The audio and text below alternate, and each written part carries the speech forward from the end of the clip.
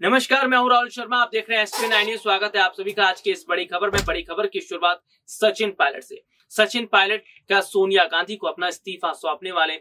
क्या सचिन पायलट कांग्रेस पार्टी से खुद को अलग करने वाले? जी हाँ दरअसल राजस्थान से इस तरह की खबरें निकल कर सामने आने लगी है, क्योंकि सचिन पायलट सीधे तौर पर सोनिया गांधी से नाराज़ दिखाई दे रहे सचिन पायलट को जो ज़िम्मेदारी कांग्रेस पार्टी में चाहिए थी, वो ज़िम्मेदारी शायद अब मिलती नज़र नहीं आ रही। तो मौजूदा समय के जो हालात है, मौजूदा समय की जो स्थिति है, वो ये इशारा कर रही कि आने वाले समय में बड़ा नुकसान उठाना पड़ सकता है। जी हाँ कांग्रेस पार्टी को और कांग्रेस पार्टी से अगर ये युवा चेहरा भी निकल जाता है तो समझ लीजिए कि कांग्रेस पार्टी पतन की ओर जाती नज़र आएगी। ये वो कांग्रेस पार्टी है जो सीधे सीधे तौर पर ये देखा जा रहा है कि भाई प्रशांत किशोर को उन्होंने खुद से दूर कर लिया। वो प्रशांत किशोर जो चुनावी रणनीतिकार हैं, वो प्रशांत किशोर जो कांग्रेस पार्टी के लिए रणनीति बना रहे तो ये देखा जा रहा है कि कांग्रेस पार्टी के लिए जो रणनीति बनाई जा रही है या कांग्रेस पार्टी के लिए जिस तरह की रणनीति तैयार की जा रही है, इसका सीधा मतलब यह है कि कांग्रेस पार्टी जो है, वो रणनीति जो बना रही है, उसका कोई फ़ायदा नहीं मिलता नज़र आ रहा। प्रशांत किशोर जो कांग्रेस पार्टी के साथ जुड़ने वाले थे, जो कांग्रेस पार्टी के साथ जुड़कर कोई बड़ी रणनीति बनाने वाले थे, ऐसे में देखा गया कि प्रशांत किशोर ने भी अपने कदम पीछे खींच रहे। तो यहाँ पर मौजूदा समय के जो हालात है, कांग्रेस में ठीक नहीं चल रहे। कांग्रेस पार्टी में अंतर कलह लगातार जारी है।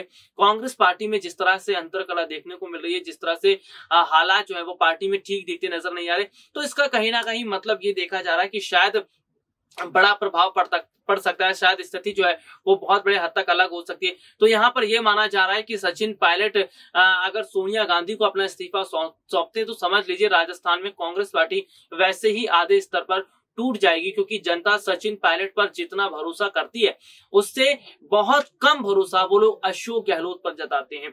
यानी कि राजस्थान की जनता बहुत पहले से ये कह रही कि सचिन पायलट को मुख्यमंत्री बनाया जाना चाहिए, क्योंकि सचिन पायलट जो गुजर समुदाय से आते हैं, और राजस्थान में सबसे बड़ी संख्या जो है वो जाट और गुजर की है।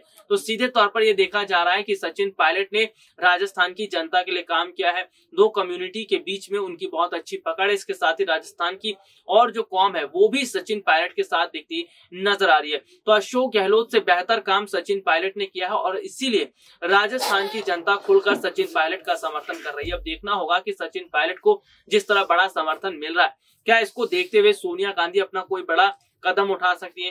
क्या सोनिया गांधी कुछ बड़ा कर सकती है? लेकिन हाल फ़िलहाल के जिस तरह के हालात हैं, हाल फ़िलहाल की जिस तरह की स्थिति है, वो कहीं ना कहीं ये इशारा कर करे कि शायद जो बड़ा नुकसान है, वो उठाना पड़ सकता है। जी हाँ किसको कांग्रेस पार्टी को। और कांग्रेस पार्टी अगर उसी परिवारवाद को लेकर चलती है, कांग्रेस पार्टी उसी परिवारवाद के ढर्रे पर चलती है तो शायद ये जो आने वाला वक्त है, ये और कांग्रेस के लिए नुकसानदेह होगा। और कांग्रेस कई राज्यों में तो चुनाव हारेगी, राजस्थान से भी सत्ता गवा बैठेगी।